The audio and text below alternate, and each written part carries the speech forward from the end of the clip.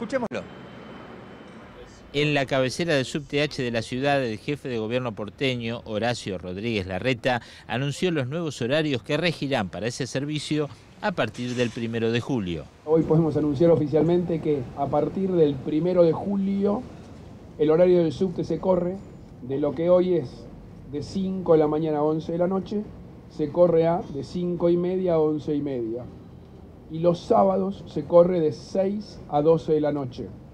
Esto beneficia, primero de todo hay muy poca gente que viaja en la primera media hora de la mañana, muy poca. Entonces, y hay mucha gente, sobre todo estudiantes, que terminan los horarios de la facultad a las 11 de la noche y que a esa hora no pueden tomar el subte.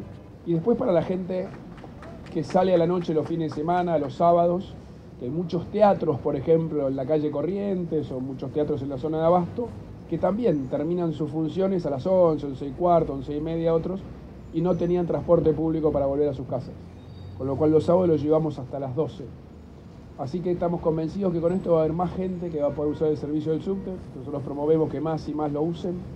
¿no? Y creo que también lo otro lindo es que no fue una decisión nuestra, fue una votación de los vecinos que primero participaron muchísimos y después dieron una opinión de forma contundente, porque que el 84% hayan opinado en favor del cambio muestra que la gran mayoría estaba de acuerdo con eso.